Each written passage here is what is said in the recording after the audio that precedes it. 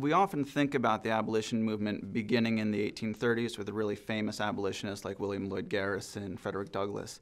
Uh, but really, it goes all the way back to the colonial era. Of course, the first people to resist slavery are the enslaved Africans themselves. But in terms of white critics, uh, the earliest ones are almost always Quakers.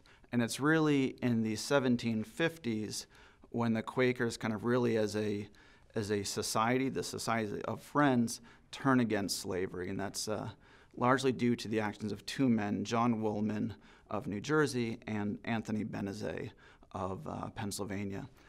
And uh, between 1755, uh, beginning then, the leaders of the Quakers begin to pass a series of resolutions saying the Quakers can no longer own slaves. And by 1776, most Quakers in America have accepted these rules and they've ended slavery within the society. Beginning with the American Revolution, this opens up a new opportunity for Quakers to move their anti slavery beyond their own religious group to American society as a whole. And they begin petitioning uh, the Confederation Congress in 1783. And they petition them pretty much nonstop uh, in the ensuing decades. Abolitionists, especially black abolitionists, were uncompromising in their stance that slavery had to be ended immediately in the United States. They were far less sympathetic to early white abolitionist calls for a gradual abolition, that is, sort of a piecemeal ending of slavery. But black abolitionists, people like Frederick Douglass, Sojourner Truth, Harriet Jacobs, John Russwurm, Samuel Cornish, all of these men who really emerge as intellectual and political community leaders in northern black communities, are uncompromising in their argument that slavery runs contrary to the laws of God as well as the founding principles of the United States, the ideals of individual rights, individual freedoms. And they argue that the only way to reconcile this fundamental contradiction is simply to end slavery and to recognize all African Americans as citizens of the nation, as rights bearing citizens.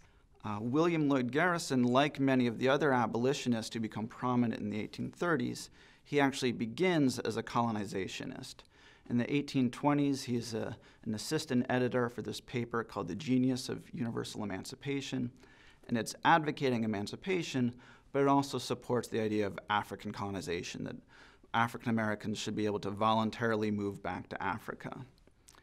Um, but over time, um, Garrison becomes more and more radical, and he's, he's really influenced by a lot of African American activists as well, especially David Walker, a black man from Massachusetts.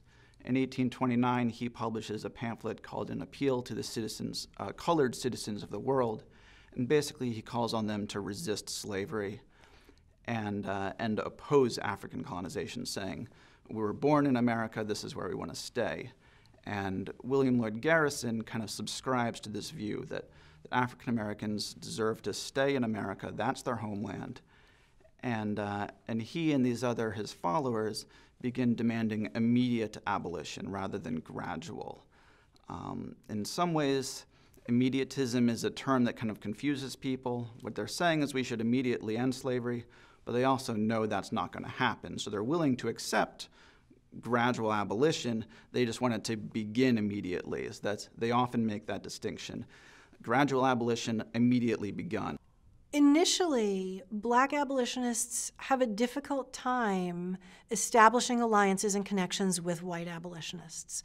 There's a struggle that, in many ways, is a struggle about sort of internal or latent racism, we might think of, on the part of white abolitionists who are not quite ready to accept black leadership in the, in the movement, who are not ready to accept black people's insistence that they are, in fact, capable to, of testifying to their own experiences and articulating a political agenda.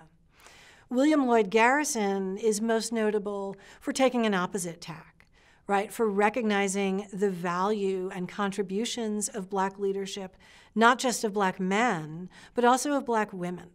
What makes Garrison so radical is that he openly supports and endorses women's activism, white women and black women, as playing important leadership roles in the abolitionist movement.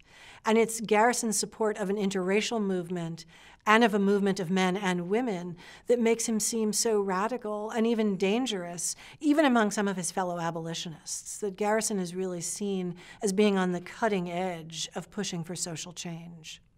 When the Garrisonians reject African colonization, kind of the other side of that is that they embrace the idea of African Americans being integrated into American society.